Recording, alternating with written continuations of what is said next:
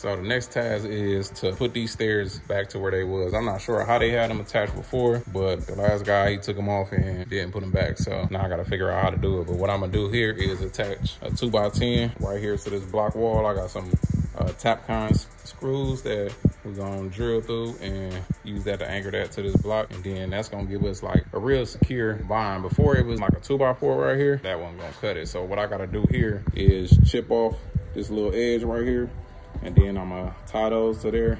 I hate that this actually go down at an angle, so I'm probably gonna have to shim that with some wood on the back of it so I can put more screws on there. But yep, I'm about to get to chipping this away and putting these stairs back.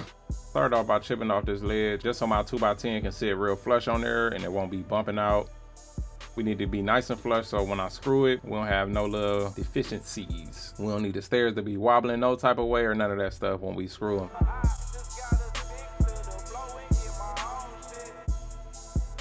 So after taking a few more measurements, see I mocked up the steps, had a block underneath it in the front. I put some better block in there with two solid pieces instead of those temporary spaces that I was putting in. But here I'm just mocking up that 2x10 there, pre-drilling where my Tapcons is gonna go.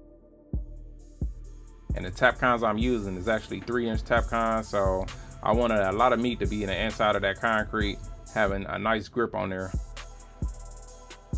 Like I said, I want these steps to be nice and sturdy and I need that base to be really adhere to that wall so it won't go anywhere.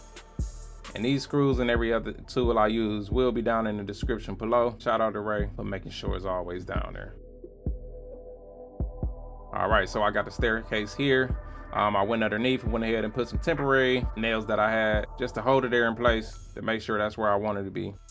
And I went ahead and actually put some rugged structural screws in there too from GRK just to make sure those things won't move and they stay nice and put. But that's about it. This was a simple install. I went ahead and screwed the bottom of the stair tread too to that block wood, but the camera wasn't far back enough for you to see that, but everything nice and sturdy and good. They just got to figure out how they gonna throw a handrail up. But that's it. Thanks for checking it out. Please make sure you leave a like and always know if you want more ARTT Life, go to arttlife.com.